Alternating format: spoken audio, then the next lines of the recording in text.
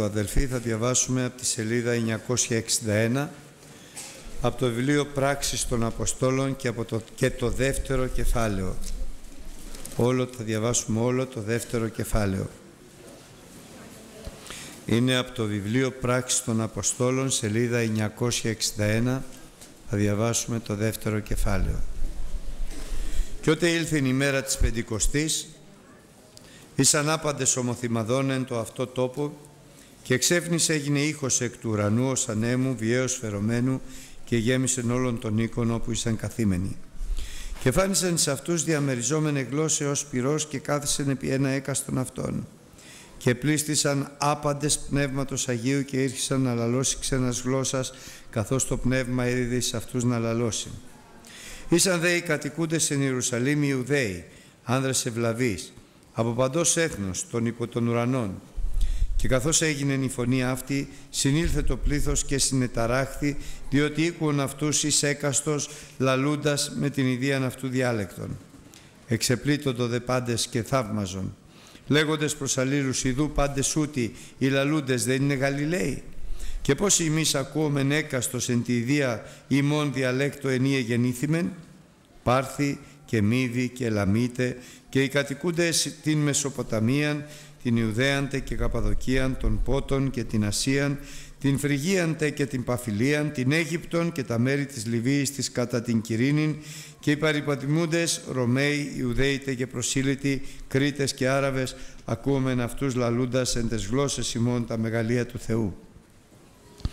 Εθαύμαζαν δε πάντες και υπόρουν άλλος προς άλλον λέγοντες. Τι σημαίνει τούτο; Άλλοι δε γλεφάζοντες έλεγον ότι είναι μεστή από γλυκή νίνων.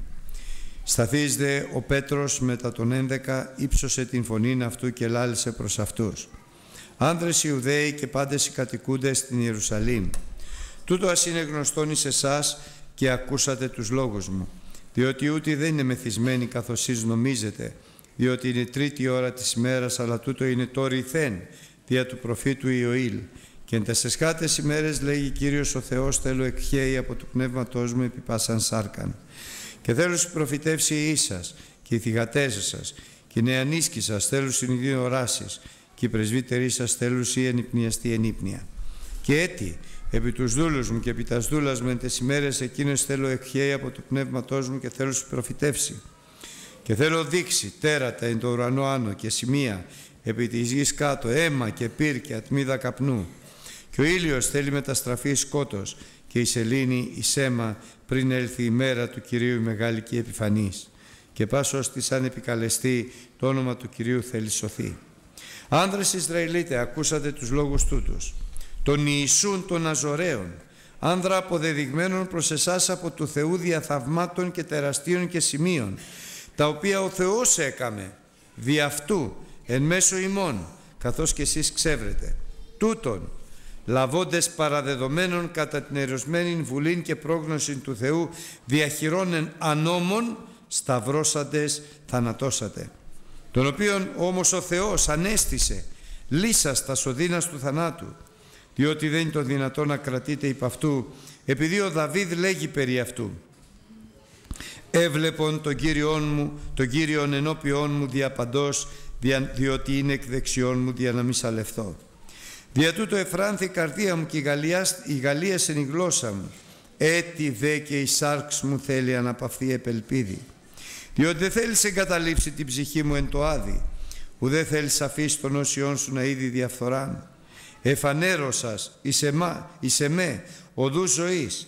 Θέλεις με χορτάσει από εφροσύνης δια του προσώπου σου.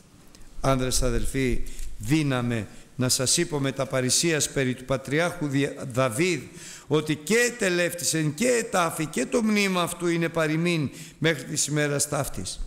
Επειδή λοιπόν ήταν προφήτης και ήξευρεν ότι με θόρκου όμωσεν προς αυτόν ο Θεός ότι εκ του καρπού της οσφίως αυτού θέλει αναστήσει κατά σάρκαν τον Χριστό δια να καθίσει αυτόν επί του θρόνου αυτού. Προειδών ελάλησε περί της Αναστάσεως του Χριστού ότι δεν εγκατελείφθη η ψυχή αυτού εν το άδει, ουδέ η σάρξ αυτού είδε διαφθοράν. Τούτον τον Ιησούν ανέστησε ο Θεός, του οποίου πάντες εμείς είμαι μάρτυρες.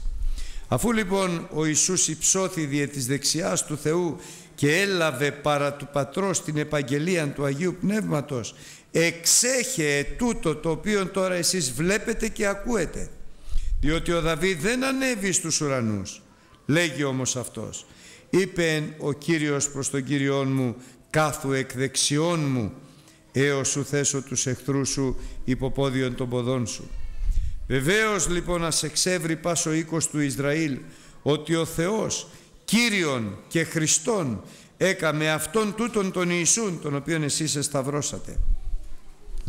Αφού δε ήκουσαν ταύτα ήρθε εις κατάνοιξην η καρδία αυτών και είπαν προς τον Πέτρον και τους λοιπούς Αποστόλους τι πρέπει να κάνουμε άνδρες αδελφοί; Και ο Πέτρος είπε προς αυτούς μετανοήσατε και ας βαφτιστεί έκαστο Σιμώνης στο όνομα του Ιησού Χριστού εις άφεση αμαρτιών.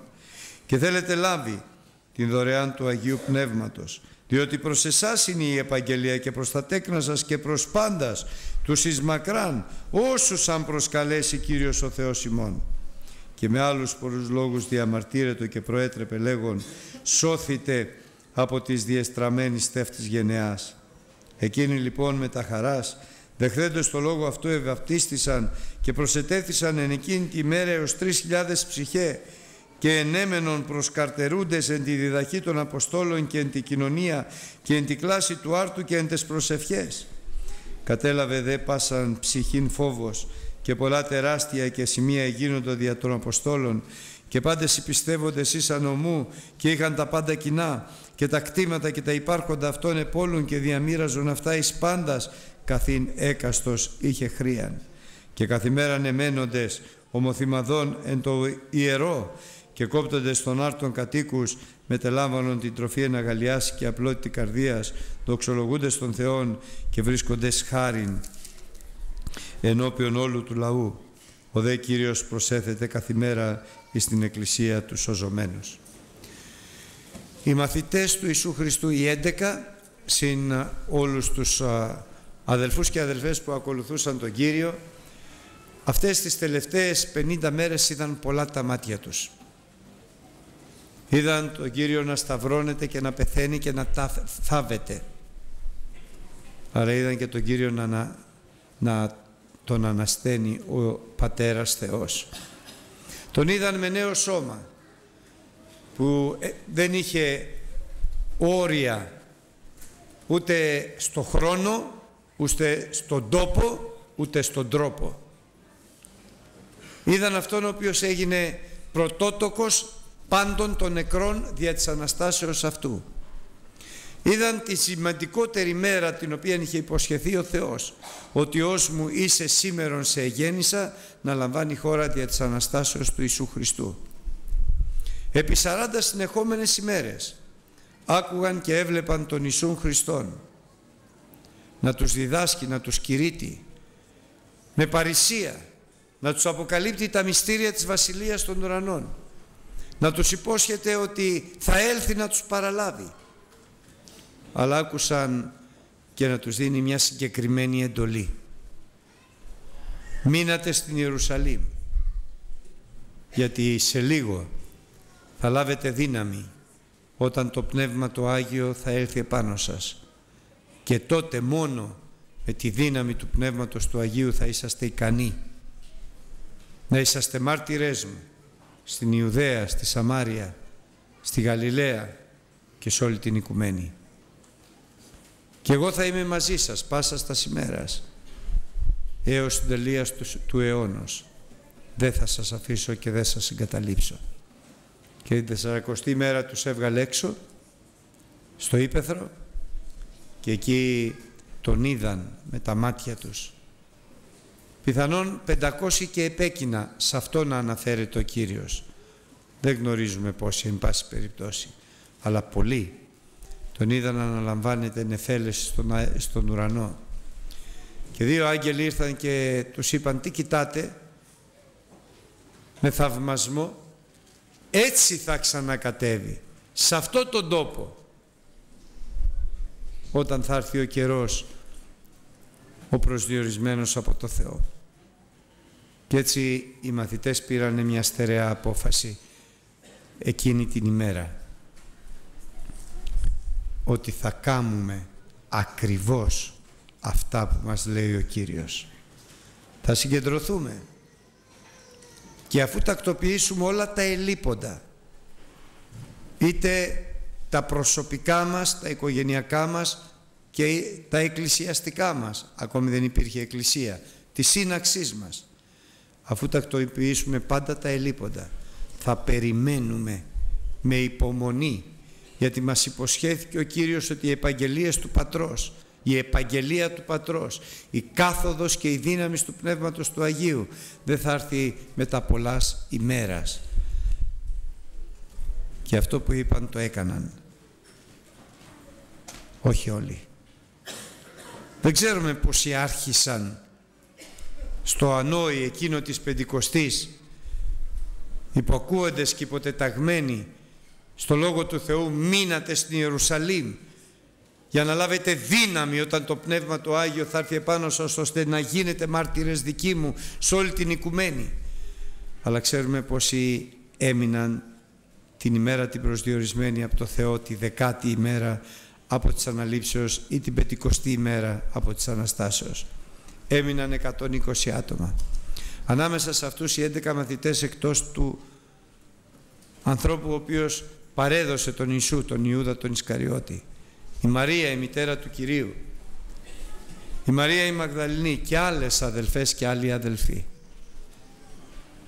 Και αφού τακτοποίησαν τα ελίποντα και προσέθεσαν στους 11 και τον 12ο με την οδηγία του Θεού όπως την ήξεραν μέχρι τότε, με κλήρο. Περίμεναν προσευχόμενοι.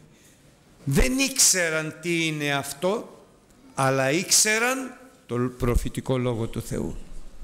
Ήξεραν ότι εν τεσσεσχάτες ημέρες το Πνεύμα του Άγιο δεν θα έρχεται μόνο σε κάποιους εκλεκτούς προφήτες ή ιερείς ή βασιλιάδες κατά τις διακονίες της Παλιάς Διαθήκης αλλά ήξεραν ότι το Πνεύμα του Άγιο θα έρχεται επί πάσαν σάρκα όπως ξέρουμε και εμείς σήμερα και την πεντηκοστή ημέρα στις 9 η ώρα το πρωί ξαφνικά ενώ συνέχιζαν να προσεύχονται και να εξητούν πράγμα το οποίο θέλει ο Θεός να συνεχίζουμε να προσευχόμαστε και να εξητούμε όμως ομοθυμαδών. Με μια ψυχή με μια φωνή, με μια γλώσσα, με μια καρδιά ομόφρονες ομόψυχοι. Αν είναι δυνατόν ισόψυχοι όλοι μας ζητούνται στη δόξα του Χριστού και περιφρονούντες τα δικά μας επιτεύγματα οι ανάγκες. Και τους βρήκε ο Θεός έτσι ακριβώς όπως τους ήθελε.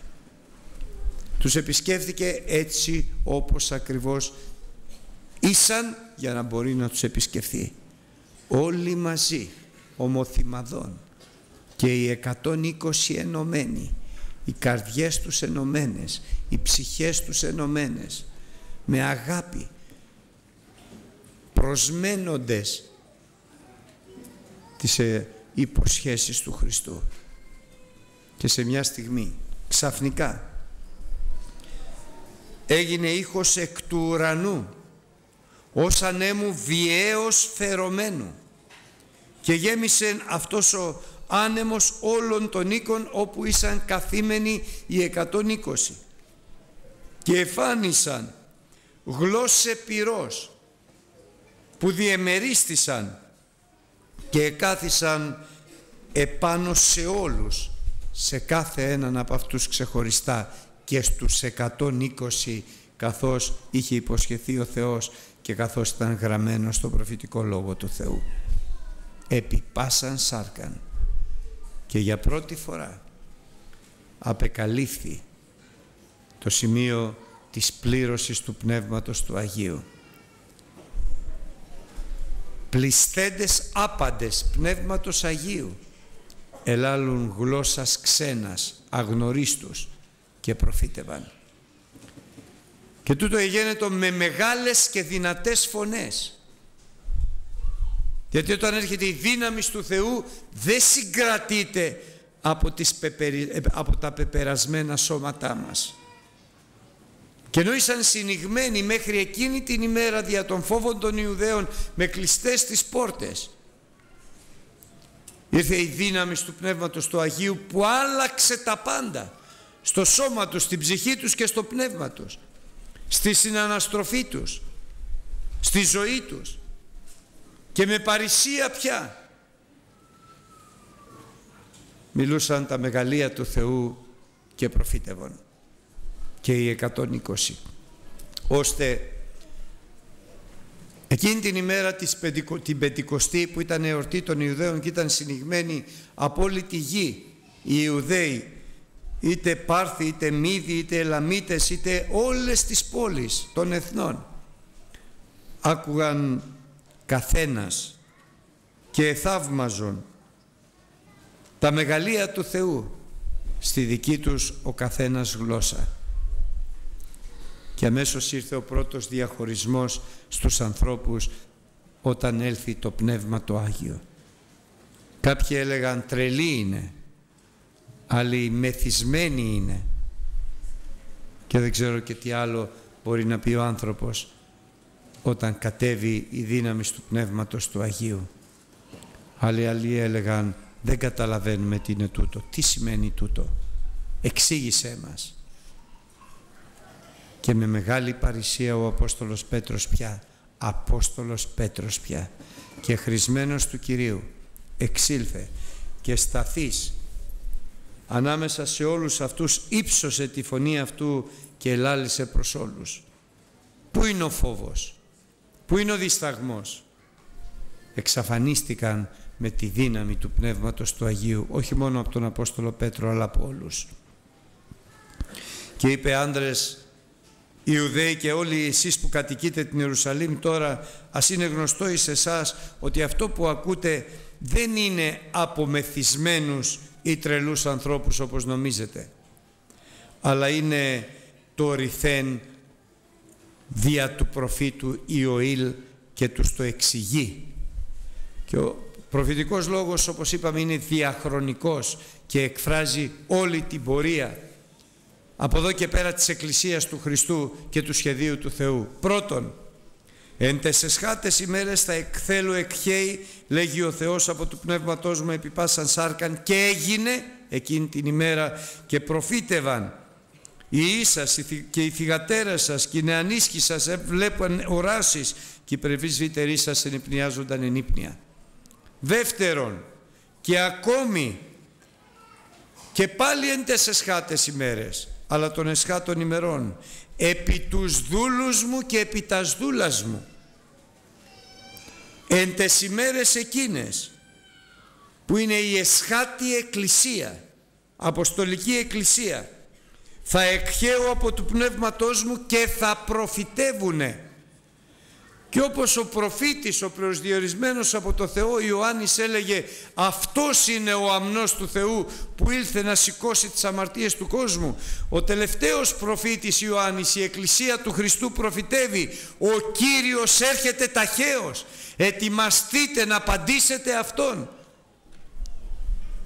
Τρίτον, μετά την αρπαγή της Εκκλησίας, εφταετία του Αντιχρίστου και θα δείξω τέρατα στον ουρανό άνω και σημεία επί της γης κάτω και αίμα και πυρ και ατμίδα καπνού και ο ήλιος θα μεταστραφεί εις σκότος και η σελήνη σέμα. Τέταρτον, η Δευτέρα παρουσία. Θα έλθει η μέρα του Κυρίου μεγάλη και η επιφανής. Και πέμπτον προς όλους. Και πάσος της αν επικαλεστεί το όνομα του Κυρίου θα σωθεί. Ένα ωραίο σχέδιο χρονικά τέλεια προσδιορισμένο από τον παράκλητο και αποκαλυπ, αποκαλυπτόμενο, αποκεκαλυμμένο από το παράκλητο το πνεύμα της αληθείας. Σχέδιο Θεού. Πρώτη Αποστολική Εκκλησία. Εσχάτη Αποστολική Εκκλησία. Εφταετία του Αντίχριστου. Δευτέρα παρουσία. Και η σωτηρία προς όλους τους ανθρώπους πάντοτε όποιος επικαλεστεί το όνομα του Κυρίου θα σωθεί. Τώρα όμως πρέπει να εξηγήσει ακόμη περισσότερο τα περί του Ιησού Χριστού. Αυτόν τον Ιησούν ο οποίος ήταν αποδεδειγμένος από το Θεό. Διαθαυμάτων και τεραστίων και δυνάμεων και σημείων τα οποία ο Θεός έκαμε δι' αυτού. Ο Θεός έκαμε δια του Ιησού του Ναζωραίου. Αυτόν τον Ιησούν. Εσείς τον συλλάβατε, τον παραδώσατε στα χέρια νόμων, τον σταυρώσατε και απέθανε. Όμως ο Θεός τον ανέστησε, γιατί είναι γεγραμμένο και εδώ αδελφοί αγαπητοί πρέπει να τονίσουμε μια φορά ακόμη ότι λαμβάνει χώρα στο σχέδιο του Θεού είναι προφητευμένο. Περιέχεται στον προφητικό λόγο του Θεού. Ό,τι δεν περιέχεται στο λόγο του Θεού δεν είναι αλήθεια η μόνη αλήθεια και η υπερτάτη αλήθεια είναι ο Λόγος του Θεού. Και ο Λόγος του Θεού αποκαλύπτεται. Η Αποκάλυψη αποκαλύπτεται. Δεν είναι αποκεκαλυμμένα απαρχής όλα. Με το πέρασμα του χρόνου, βλέποντας η κάθε γενιά του ανθρώπου, αυτά τα οποία έγιναν αυτά τα οποία γίνονται αναγνωρίζει, μπορεί να αναγνωρίσει με τη χάρη του Χριστού και τη βοήθεια και τη δύναμη του Πνεύματος του Αγίου αυτά τα οποία πρόκειται να γίνουν σε λίγο. Ένα δεν ξέρει ο άνθρωπος του Θεού γιατί δεν είναι αποκεκαλυμμένο από ποτέ και πουθενά και από κανέναν ναι, τους χρόνους και τους καιρούς. Γιατί οι χρόνοι και οι καιροί είναι στα χέρια του Πατέρα και την ημέρα και την ώρα που θα έρθει ο Κύριος δεν την ξέρουν ούτε οι άγγελοι ούτε και ο άνθρωπος Χριστός Ιησούς, ο Κύριος, παρά μόνο ο Πατέρας Θεός την έχει φυλαγμένη και κατακεκριμένη μέσα στην καρδιά Του. Αλλά όμως μέσα από το Λόγο του Θεού βλέπουμε, παρατηρούμε, εξετάζουμε, αλλά ιδιαίτερος ετοιμαζόμαστε για να απαντήσουμε Κύριο το Θεό μας. Είναι γεγραμμένο λοιπόν τα περί Αναστάσεως από τον προφήτη Δαβίδ, στον οποίο ο Θεός με όρκο υποσχέθηκε ότι θα εγείρει σπέρμα εξ αυτού για να καθίσει βασιλεύς επί του θρόνου του. Και προφητεύει και λέγει πλέον προφητικά ο Ιησούς Χριστός μέσα στο Λόγο του Θεού, ο Υιός του Δαβίδ, έβλεπον τον Κύριό μου πάντοτε ενώπιόν μου στεκόταν πάντοτε ο Θεός ενώπιόν μου στα τρισήμιση χρόνια της παρουσίας μου επί της γης για να μη σαλευθώ. Κανένας δεν μπορεί άνθρωπος να μείνει ασάλευτος αν ο Θεός δεν στέκεται δίπλα του. Κανένας. Κανένας άνθρωπος δεν είναι άξιος λόγου αλλά όπως ο πατέρας στεκότανε διαπαντός δίπλα στον Κύριο και ο Κύριος Ιησούς Χριστός τον έβλεπε έτσι και ο κάθε άνθρωπος τον οποίον αποστέλει ο Χριστός όπως αυτός απεστάλλει από τον πατέρα κάθε άνθρωπος απεσταλμένος από τον Χριστό βλέπει δίπλα του τον Ιησούν Χριστόν διαπαντός να τον βοηθάει να μη σαλευθεί. Δεν θα σαλευθεί κανείς αδερφοί. Αρκεί να περπατάμε στα ίχνη του Χριστού αρκεί να ακολουθούμε ακριβώς το Λόγο του Θεού. Να μην εκλίνουμε δεξιά και αριστερά να μην προσθέτουμε και να μην αφαιρούμε. Να μην νομίζουμε και να μην θεωρούμε. Να μην θέλουμε να εξυγχρονίσουμε και να το κάνουμε πιο ευχάριστο το Ευαγγέλιο. Το Ευαγγέλιο είναι ένα. Και ο Λόγος του Θεού λέει αν άλλος σας κηρύξει άλλο Ευαγγέλιο ακόμη άγγελος από τον ουρανό ας είναι ανάθεμα ένα είναι το Ευαγγέλιο του Ιησού Χριστού. Μία είναι η αλήθεια. Αυτό που είναι γεγραμμένο από το Θεό δια Πνεύματος Αγίου με τους δούλους του, τους προφήτες και τους Αποστόλους.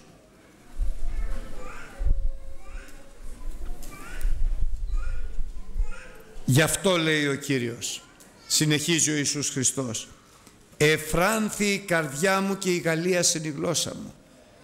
Έκανα το θέλημά σου Κύριε με χαρά και η γλώσσα μου μιλούσε τα μεγαλεία σου ομολογεί προφητικά ο Ιησούς Χριστός με δοξολογία γι' αυτό και τη σάρκα μου το σώμα μου την παραδίδω σε σένα γιατί θα αναπαυθεί με ελπίδα. Έρχομαι και παραδίδω το σώμα μου με ελπίδα ότι εσύ δεν θα εγκαταλείψεις εμένα στον Άδη ούτε θα αφήσεις τον όσιό σου να δει διαφθορά. Γιατί εφανέρωσες εις εμέ οδούς ζωής. Γι' αυτό θα με χορτάσεις από ευφροσύνης από του προσώπου της παρουσίας σου. Ομολογώντας λοιπόν προφητικά για πρώτη φορά όχι για πρώτη φορά για πολλωστή φορά αλλά ξεκάθαρα ο Δαβίδ για το σπέρμα του προφητικά την Ανάσταση του Ιησού Χριστού. Γι' αυτό και ο Απόστολος Παύλος λέει με παρησία δύναμη να σας πω ότι ο Δαβίδ πέθανε και ετάφη και ο τάφος του είναι ανάμεσά μας.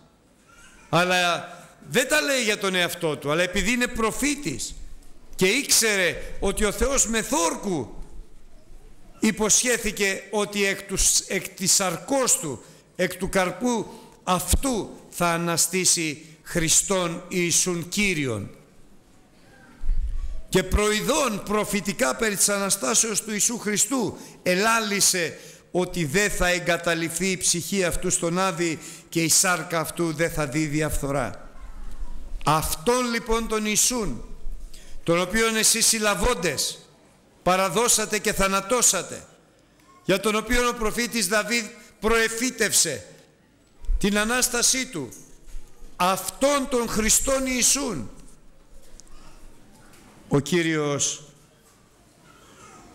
ανέστησε εκ νεκρών με μία Ανάσταση όχι άνθρωπος και πάλι άνθρωπος αλλά άνθρωπος και τώρα Υιός Θεού ανέστησε αυτόν δια της δυνάμεως του Πνεύματος του Αγίου. Και αυτός έλαβε καθώς εισήλθε στον ουρανό έλαβε την επαγγελία του Πατρός τη δύναμη του Πνεύματος του Αγίου την οποία εξέχε επί πάντας τους πειθαρχούντας στο λόγο του τους υπακούοντας στο θέλημά του τους εξητούντας με όλη τους την καρδιά επειδή πιστεύουν στο Λόγο του Θεού τη δύναμη του Πνεύματος του Αγίου. Επιπάντας τους προσμένοντας με υπομονή την επαγγελία του Θεού επάνω σε αυτούς εξέχει τούτο το οποίο βλέπετε και ακούετε γιατί όταν έρχεται το Πνεύμα το Άγιο όλοι το βλέπουνε και όλοι το ακούνε. Δεν είναι αοράτος και κρυφά που δεν το παίρνει κανείς δεν το καταλαβαίνει κανείς.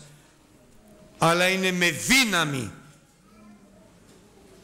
με φωνή, με κραυγή με σημείο, με μεγαλείο. Γιατί το να μιλήσεις ξένες γλώσσες και να προφητεύεις όταν σε βαφτίσει ο Κύριος με Πνεύμα Άγιο δεν είναι χάρισμα, είναι σημείο Βεβαίως το Πνεύμα το Άγιο δίδει χαρίσματα, ήδη γλωσσών και προφητείες.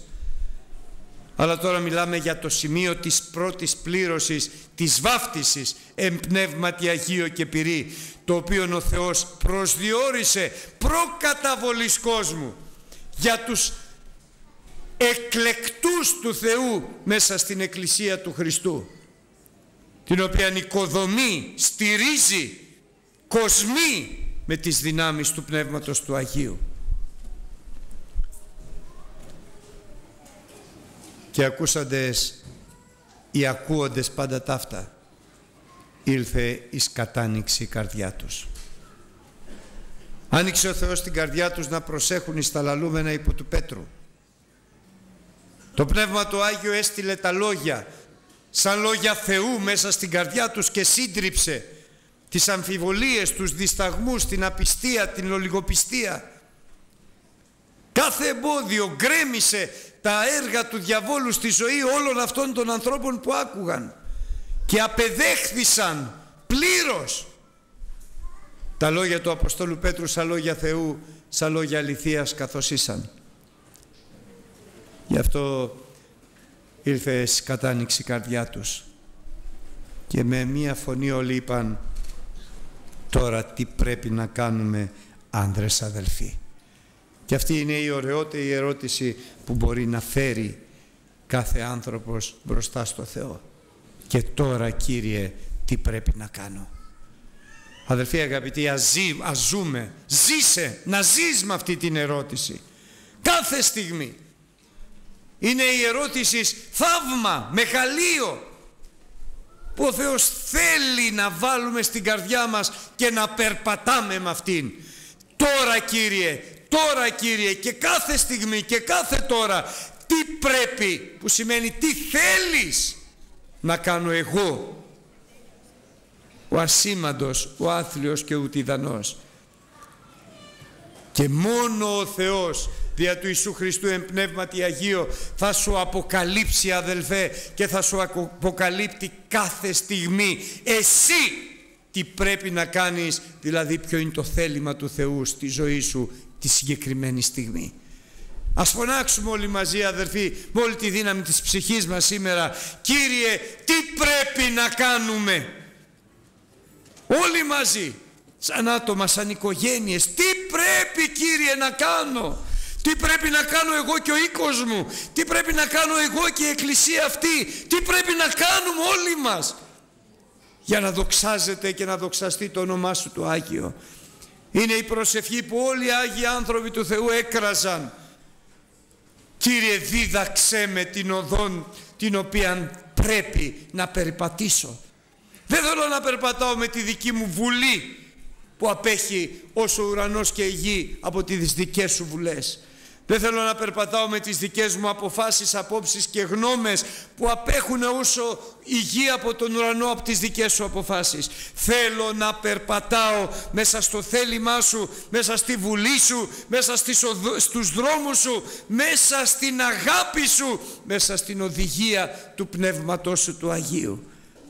Θέλω να είμαι απολύτως. Βόηθα με χάρηκα με δεν μπορώ μόνος μου. Θέλω να είμαι απολύτως διοικούμενος από το Πνεύμα το Άγιο για να είμαι πραγματικά παιδί δικό σου. Δεν μπορώ είμαι άνθρωπος ασήμαντος άθλιος ουτιδανός τυποτένιος. Βόηθα με να είμαι πάντοτε διοικούμενος από το Πνεύμα σου το Άγιο.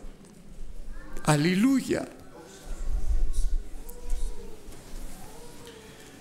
Και ο Πέτρος όπως κάθε φορά ο Θεός χρησιμοποιώντας κάποιους ανθρώπους και δι, δικά του δια Πνεύματος Αγίου περιέγραψε λεπτομερώς την οδόν την οποία έπρεπε αυτοί οι άνθρωποι τότε εκεί να περπατήσουν σύμφωνα με το πρέπει του Θεού με το θέλημα του Θεού πρώτον. Αλλά αυτό το πρέπει και το θέλημα του Θεού ισχύει και για μας σήμερα και για πάντοτε. Μετανοήσατε πρώτον. Τακτοποιήστε τη ζωή σας. Δοκιμάστε τον εαυτό σας. Μετανοήσατε.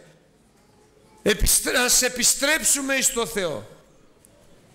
Με κλαθμό, με δάκρυα, με ταπείνωση, με όλη μας την καρδιά. Μετανοήσατε και όποιος δεν έχει βαφτιστεί ενίδατη εις άφεση αμαρτιών ας βαφτιστεί στο όνομα του Χριστού εις άφεση αμαρτιών. Και τότε πιστέψατε, εξητήσατε, πειθαρχήσατε στο Λόγο του Θεού, υπακούσατε στο Λόγο του Θεού και θα λάβετε τη δωρεάν του Αγίου Πνεύματος. Γιατί είναι προς εσάς και προς τα τέκνα σας και προς πάντα στους εις μακράν όσους αν προσκαλέσει Κύριος ο Θεός ημών. Και σήμερα αδελφοί όλοι είμαστε προσκαλεσμένοι του Κυρίου. Κανένας δεν έχει έρθει από μόνος του αλλά ξέρει ο Θεός να κατευθύνει τα βήματά μας. Και με άλλους πολλούς λόγους προέτρεπε και διεμαρτύρετο ο Απόστολος Πέτρος σώθητε από τις διεστραμμένης ταύτης γενεάς. Εξέλθετε, εξέλθετε εκ της Βαβυλώνος και σώθητε φώναζε το Πνεύμα το Άγιο χρόνια πριν στην Παλαιά Διαθήκη. Τέσσερα λοιπόν τα απαραίτητα χαρακτηριστικά που ο Θεός αποκαλύπτει σε αυτούς τους οποίους προσκαλεί. Μετάνοια, βάφτισμα ενίδα της το όνομα του Χριστού εις άφεση αμαρτιών άμεσο. Εξήτησης, διαπίστεως της δυνάμεως του Πνεύματος του Αγίου, το οποίο ο Κύριος δίδει στους πειθαρχούντας, στους υπακούοντας και στους εξητούντας και στους θέλοντας. Και τέταρτον, σωτηρία και έξοδος από τη γενναία αυτή την πονηρά και τη διαστραμμένη. Και με αυτούς τους 3.000 ανθρώπους που πρώτοι υπάκουσαν στη Φωνή του Θεού συν τους 120 απαρχής ανθρώπους ξεκίνησε εκείνη η πρώτη μέρα. Η πρώτη μέρα της Εκκλησίας. Η πρώτη εκείνη ευλογημένη μέρα την οποία είχε στην καρδιά του και στο μυαλό του ο Θεός προκαταβολής κόσμου. Πριν ξεκινήσει να οικοδομεί καθώς είναι γραμμένο εν αρχή επίησε ο Θεός τον ουρανό και τη γη. Ο άναρχος Θεός είχε προσδιορισμένη εις τους αιώνες των αιώνων εκείνη τη συγκεκριμένη μέρα για την ανθρωπότητα τη δημιουργία της Εκκλησίας του Θεού που είναι ο οίκος του Θεού του ζώντος ο στήλος και το εδραίωμα της αληθείας και από την πρώτη μέρα ξεκίνησε η μία και μοναδική λειτουργία της Εκκλησίας προσδιορισμένη από τον Θεό δια του Ιησού Χριστού εν Πνεύματι Αγίου ώστε διδακτή του Πνεύματος του Αγίου άπαντες χωρίς να έχουν κανέναν διδάσκαλο, κανέναν αρχηγό, κανέναν ηγεμόνα, κανέναν άνθρωπο που είναι για να πηγαίνει μπροστά, αλλά μόνο τον Ιησούν Χριστόν δάσκαλο και καθηγητή και τον Πατέρα του στον ουράνιο να φροντίζει σαν αγαθός πατέρας την Εκκλησία. Έμενον προσκαρτερούντες. Και αυτή είναι η Εκκλησία του Χριστού. Προσκαρτερεί. Ερχόμαστε στην Εκκλησία πάντοτε προσκαρτερούντες. Απαντήσεις, επεμβάσεις, θεραπείες. Ο κάθε ένας από μας. Παρηγοριά, δύναμη, προτροπή, συμβουλή, αποστολή. Προσκαρτερούντες όλο το θέλημα του Θεού για τον κάθε έναν από μας ξεχωριστά. Ό,τι ο Θεός έχει ετοιμασμένο είμαστε έτοιμοι. Να πούμε αμήν Κύριε γιατί είμαστε προσκαρτερούντες. Και σαν άπαντες προσκαρτερούντες μέσα από αυτούς θα σηκώσει άνδρες δυνάμεως και πίστεως ο Κύριος. Το Στέφανο, το Φίλιππο και άλλους πολλούς. Τον Παύλο αν και δεν ήσαν μέσα σε αυτούς και θα δημιουργηθεί η Εκκλησία που μέλει με τις δυνάμεις του Πνεύματος του Αγίου να καλύψει μέσα σε λίγα χρόνια σε μια γενεά όλη την οικουμένη. Μέσα σε 40 χρόνια περίπου από 30 μέχρι το 70 που καταστράφηκε η Ιερουσαλήμ το Ευαγγέλιο είχε κηρυχθεί σε όλη την οικουμένη. Όχι με μέσα που έχουμε εμείς σήμερα ούτε με αυτοκίνητα, ούτε με αεροπλάνα ούτε με ίντερνετ ούτε με τηλέφωνα ούτε με τηλεπικοινωνίες ούτε με ηλεκτρισμό μόνο με τη δύναμη του Πνεύματος του Αγίου που είναι πάνω απ' όλα και μόνο με δούλους και δούλες που είχαν πάρει αυτή την απόφαση που θέλουμε και εμείς να πάρουμε σήμερα. Στο Λόγο του Θεού και μόνο στο Λόγο του Θεού. Με οδηγία Πνεύματος Αγίου και διοίκηση Πνεύματος Αγίου. Υποτασσόμενοι εις αλλήλους εν αγάπη ενδεδειμένη ταπεινοφροσύνη. Με πίστη, με ελπίδα και με αγάπη. Μεγαλύτερα τούτον η αγάπη. Η υπερέχουσα οδός. Και πάσα ψυχή φόβος κατέλαβε και άρχισε ο Θεός να εργάζεται ο Ιησούς Χριστός να κάνει σημεία τεράστια διά των χειρών των Αποστόλων όπως πριν από λίγα χρόνια ο Θεός έκαμε σημεία και τεράστια διά του Ιησού Χριστού Τώρα ο Ιησούς Χριστός κάνει σημεία και τεράστια διά των χειρών των Αποστόλων. Και πάντες οι πιστεύοντες ήσαν ομόψυχοι και δεν έλεγε κανείς ότι είναι δικό του τίποτα αλλά είχαν τα πάντα κενά. Και κάθε μέρα ενέμενον προσκαρτερούντες ομοθυμαδών στο ιερό στη διδαχή των Αποστόλων.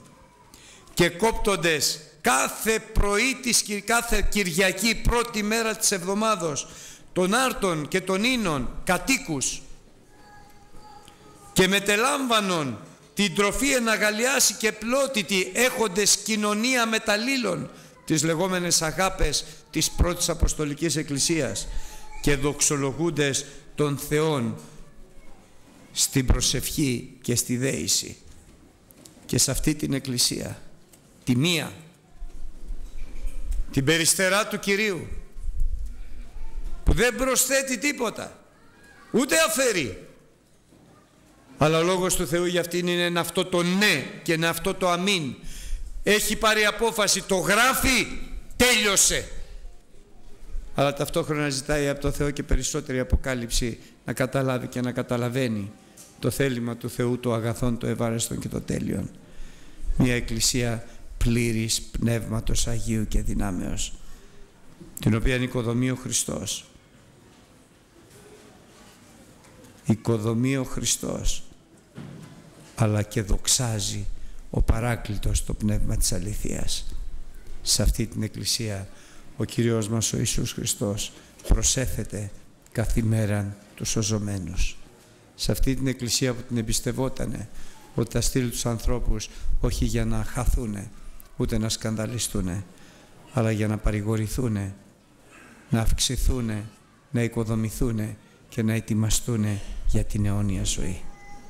Και εμείς τώρα βλέποντας συγχωρέστε με αδερφοί τα χάλια μας συγκρινόμενοι με αυτή την εκκλησία λέμε φύσε Κύριε του λαού σου σπλαχνίσου του το λαό σου ελέησέ μας, ευλόγησέ μας και δόξασε το όνομα του Χριστού Πατέρα μας επουράνιε.